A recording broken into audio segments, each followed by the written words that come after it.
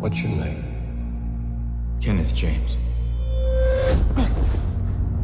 Will you give yourself to this program? Yes, sir. There is nothing that you wouldn't do for this country. You have the strength to do what's necessary. How is he? He's cramped. Oh, that has healed well. What do you think that we do out there, Doc? Jason Bourne was the tip of the iceberg.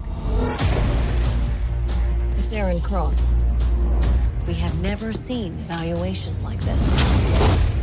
He's Treadstone without the inconsistency. I've never met anybody in the program. So how many of us are there? You ask too many questions. Jason Bourne is in Manhattan. Confirmed. What? That's all I have. Gotta go. People, listen up. This is a national security emergency. The FBI is investigating links between Treadstone and this man, Jason Bourne. I go down for this, Mark. You were given a Ferrari, and your people treated it like a lawnmower. You're asking me to wipe the most valuable assets we've ever put in the field. You're start to consider the magnitude of what we're facing if this moves sideways on us. Meaning what? Meaning we will burn the program to the ground.